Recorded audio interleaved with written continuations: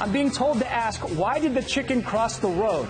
Well, apparently it's to get to the early Saturday morning game between Garland and McKinney North. First quarter, McKinney North's Colin Hitchcock with the two-yard quarterback keeper. The Bulldogs were up 7-0. They led 10-2 in the second, and Garland was hoping to get things going on the kickoff, but only one problem. The Owls leave the football behind. McKinney North jumps on it. They're in business. Next possession, Hitchcock dumps the pass off to Jayden Walker, and Jayden has a nose for the end zone. He cuts and weaves 25 yards to the house, 17-2 Bulldogs. Then 25 seconds left in the half. Hitchcock going to find Brandon Powell for a 28-yard touchdown pass. The defense would hold Garland to just 41 total yards. McKinney North wins this one 38 to 2.